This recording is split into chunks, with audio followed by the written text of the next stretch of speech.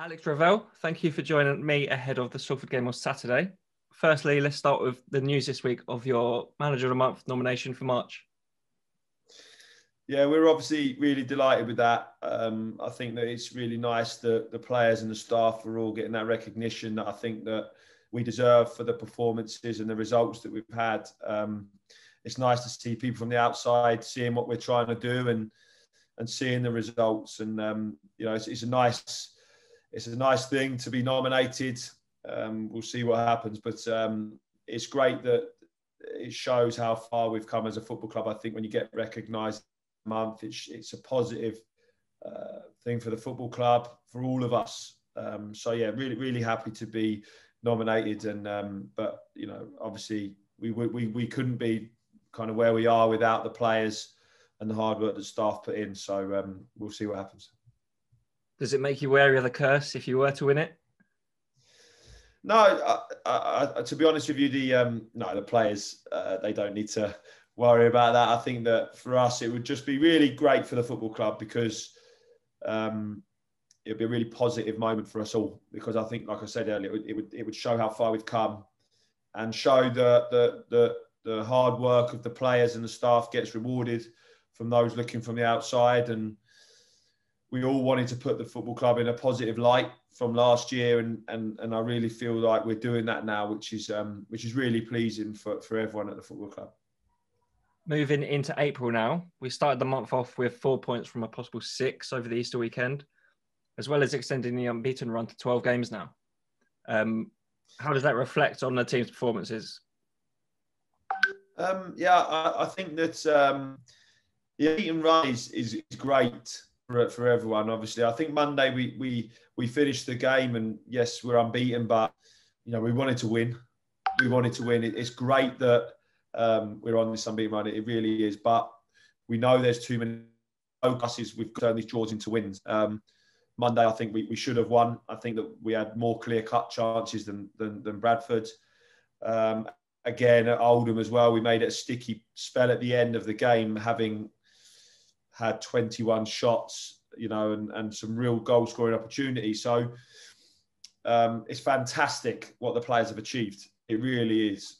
Um, but we, you know, we all have we all have uh, high expectations. We, we all move on and we all want to be as good as we can be and we want to get to the next level. And in, in order for us all to do that, we have to turn those draws into wins and and then that that that unbeaten run then is is wins rather than wins and draws, and um, that's when you find yourself then all of a sudden in those top six and and challenging when you can when. But we know that that we know that's achievable. We know that that's maybe you know scoring more goals and, and we, we work on that or that might be that we you know we've, we've kept some brilliant clean sheets this year um, so um, we know what we've got to work on we know what we've got to do over the next six games um, to, like I said to turn those those draws into wins now, with the finish line in sight, with six games to go, um, those games against the sides who are pushing for the playoffs and pushing for motion are going to be all the more difficult now. Yeah, they are. But I think what it does do it it will ask questions of the players. It will ask the questions of how far have we come as a team, um, and and the players paying for everything now. It's it's contracts. It's you know for us as a football club, it's how far do we want to go this year and and, and how far and, and how much can we achieve from where we were?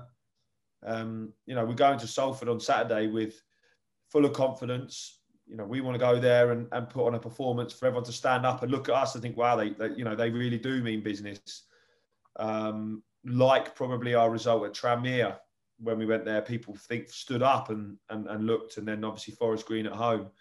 Um, so we want to make sure that on Saturday evening when we're on our way back from the game that that like I said we've turned those draws into wins. We've we've shown people what we're about um, at, at probably the, the biggest club in this league in terms of you know finances and, and and players. So we want to go there and put a top performance. At the start of the season, Salford were considered one of the favourites to go up this season. Um, but recently, they've been stumbling until their big win at Forest Green on Monday. Um, what do you make of Saturday's opponents? Yes, they're an excellent side. They've got they've got a really top manager in there at the minute. Um, I've met him several times, and he's a real fantastic person to, to speak to about football and his knowledge. So they've picked a, they've picked someone really, really kind of appropriate for the job. Um, and uh, obviously, we know that the players they've, they've, they've picked are better than League Two.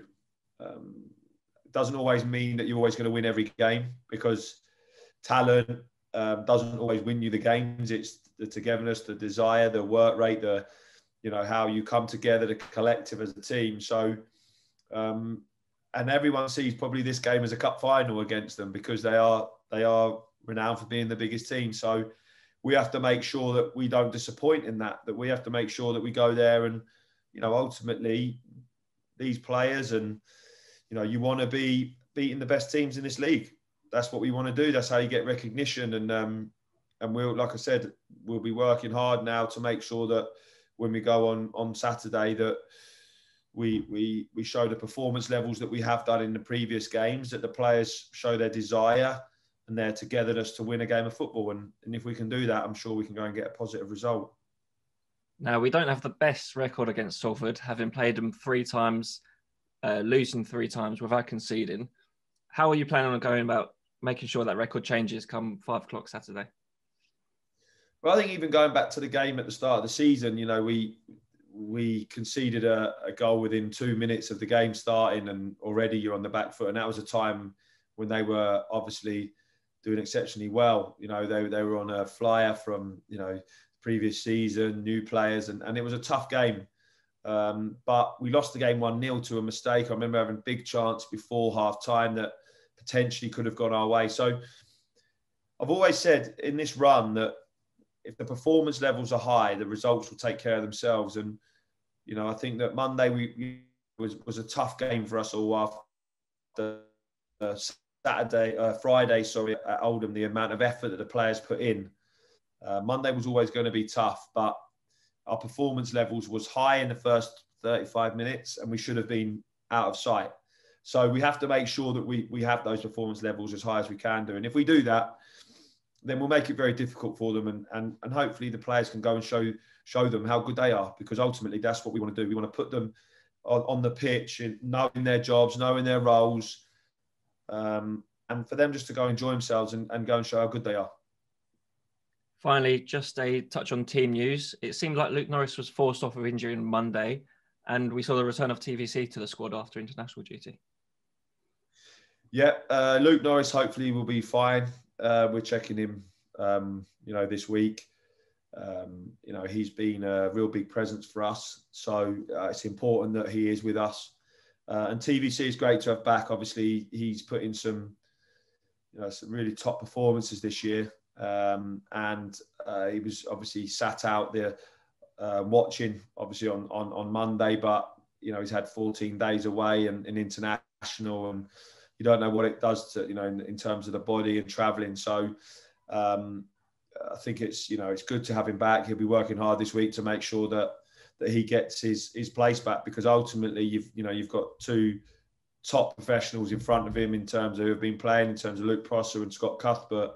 Um, and um, you know TVC's got to fight hard to make sure that he's in that team, and uh, that's the what we've created at the football club. So we're really we're really happy to have him back, and um, everyone will be doing everything they can to make sure they're in the team because they'll all want to show how good they are.